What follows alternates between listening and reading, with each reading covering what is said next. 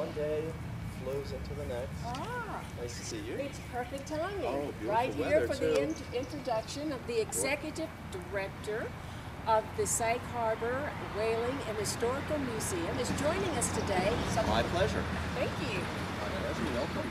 Thank- Well, can we So- go inside and take a look Please, and tell us all about Absolutely. the museum? Absolutely. Happy to bring you inside. So, so what do we do? We're just going to come into the museum and take a look around. This is really a perfect place to just mention that the house itself, uh, somewhat coincidentally, was built in the 1840s by the owner of whale ships. Okay. So that isn't why we were founded to be here. It so happened that the museum was invited to come in and set up exhibits in the 1930s by the Masonic Lodge, which then owned the property. And it just happened to have been a whaling owner, ship owner's house. Um, so it's a fabulous house, Greek revival in style, dating from 1845. So uh, that's Now, one do the. Masons still own the building? They do not. They actually Okay. sold the property to the museum in the 1940s. Okay. But with that sale, they reserved the future use of the property. So they continue to meet here, they meet upstairs.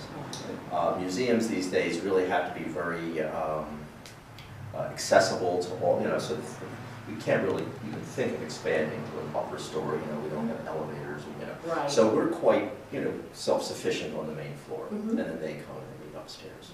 What a magnificent stairway. Well, you should come in and see it. Okay. Yes. Uh, The staircase is really one of the kind of architectural uh, gems of the house. And if you come all the way in, you can look up. It's a spiral staircase that rises Oh, up uh, Try to get it three up. stories up to the, up to the attic level. And there's actually a dome that projects up above the roof. Uh, So it becomes a skylight and uh, sheds natural light down through here. If you imagine this house in the 19th century, it didn't have any electric light, of course. And so lighting the interior was, was uh, probably a great effort. Mhm. Uh, And certainly having a skylight, which most houses of the period wouldn't you know, was, was an additional source of natural light. Any sort of So- trouble with leaking? Mm, I should knock wood, not to my knowledge. No, That's good. no.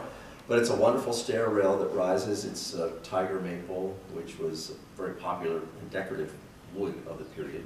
You see it used in a lot of furniture, uh, but utilized here. So the architect was Minard Lafever. He was a pretty prominent New York architect. Actually came out to design the Whalers Church, the Presbyterian church here. Uh, and the Hunttings were prominent members of the local con- congregation of the church. So they then hired the architect to design this. So, so we're very happy here because these are, it was designed as a private home, but the scale of these rooms, the height of the ceiling is about 12 feet or so. The rooms are large and so they're very well, you know, well uh, uh, suited for large exhibitions that we do. So perhaps we should go in the front parlor. Absolutely. Okay. We came. This is one of our, uh, one of our larger rooms, and uh, we believe it was probably intended to be a music room or a place of entertainment.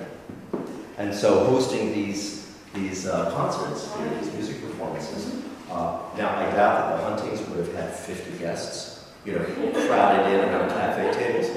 Um, But uh, nevertheless, it's very beautifully lit because there are three uh, floor-length windows leading out to the veranda out there. And um, it's a tough room, though, I'll tell you, when you design an exhibit, it's, there's very little wall. Mhm. You know, There's so much architecture in there. The windows are large, the casings are sort of over, overscaled, columns that are there. So when you begin to try to plan out where to hang things, typically we'll introduce new walls that are just brought in, you know, to the middle here, uh, to, you know, give us more, more exhibition space. But because we're doing double duty this summer with music events, uh, we had to design it so that we could, we could take advantage of the floor.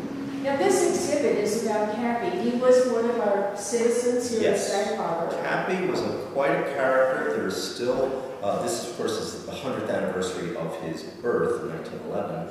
There are still some of the older residents here in Sag Harbor remember him. Mhm. Uh, while perhaps not his contemporary, certainly knew him.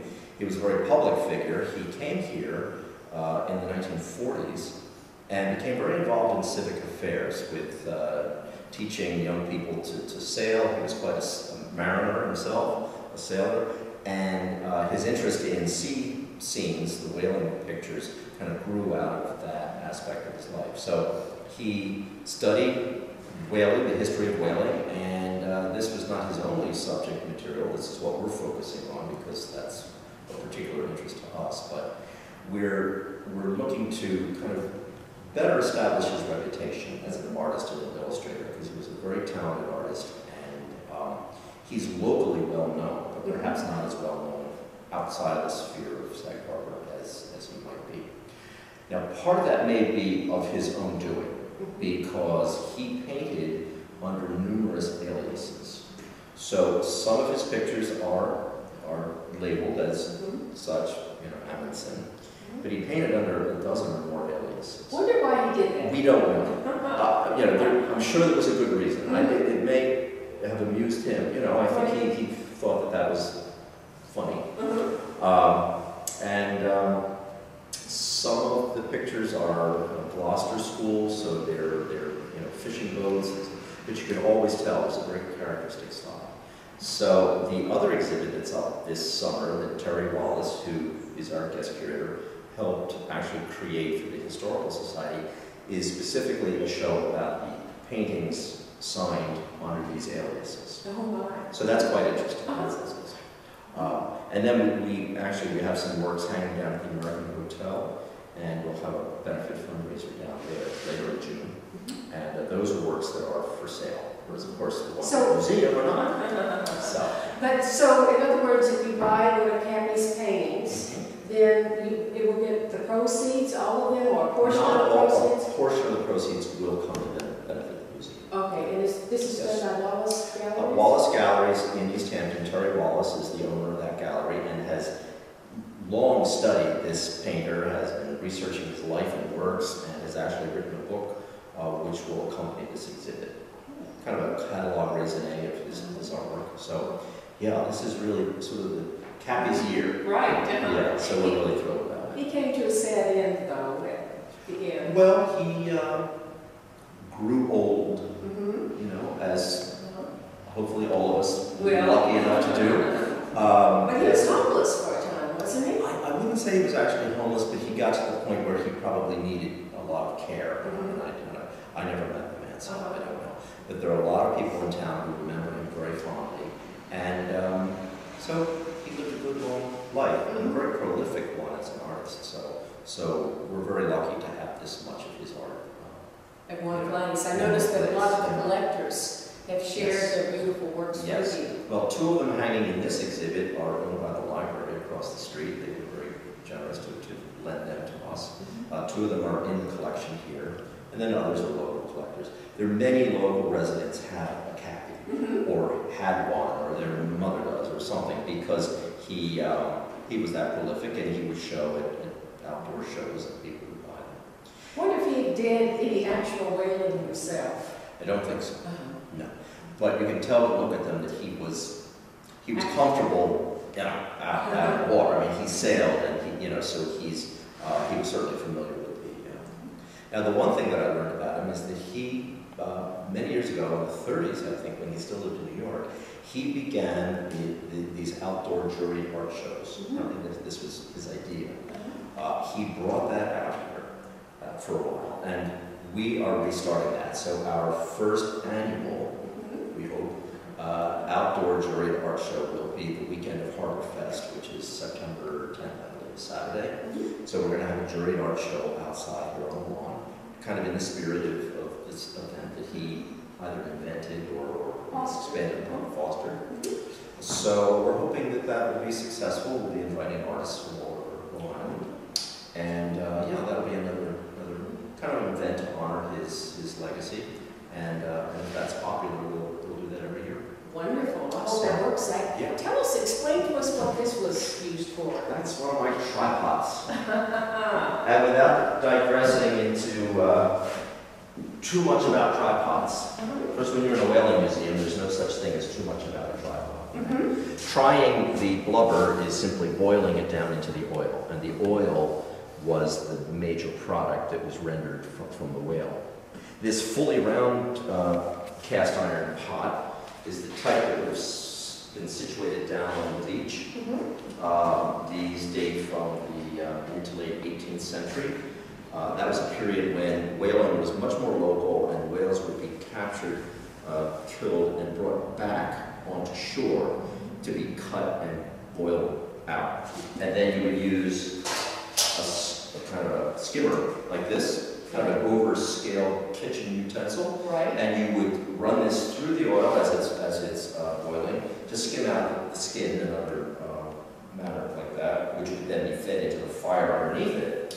Uh, Now, outside, we actually have, there's another kind of pot, which when whaling went to sea, out on long voyages, which started in the late 18th century and con- continued right up until about 1850. These were voyages that could take two to three years at a time. Wow. And so, in fact, at that point, the whale ships become factory ships, and these pots are taken off the beach and they're put onto the deck of the ship, and off they go. So in other words, here's a ship traveling throughout South Pacific, up into the Arctic perhaps, um, capturing the whales, rendering them on board, filling the casks of oil, and they would only come home when when the hold was, was full.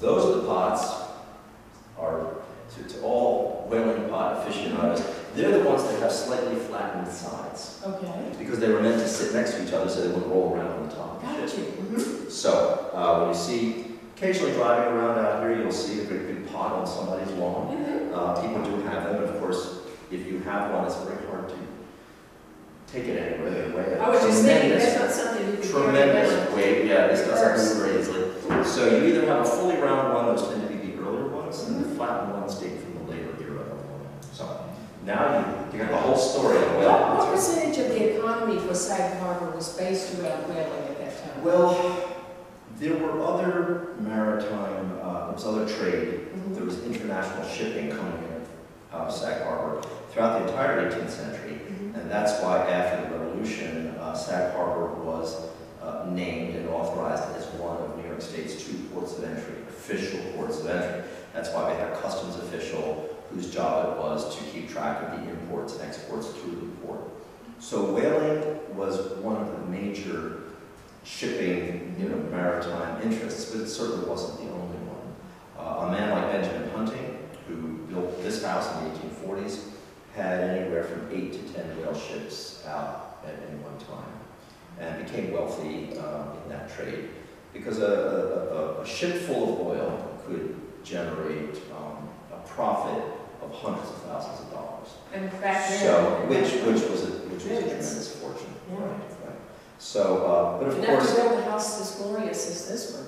Yes, and over time, it's interesting to me uh, that the house was actually built about 1845, and that was the absolute uh, apex of the industry, Mm-hmm. because things dropped off very quickly after that uh, with the discovery of petroleum in, uh, in Pennsylvania.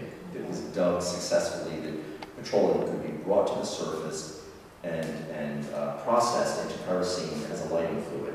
And the minute that became possible, whaling basically went out of business very quickly because that was the major product, the whale oil for lighting lamps.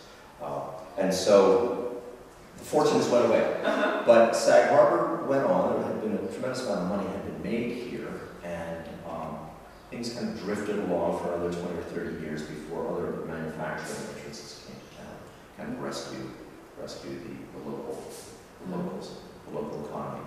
Uh, in the 18th century and early 19th, I would say, not just whaling, but all things related to rigging ships and, and uh, provisioning them, building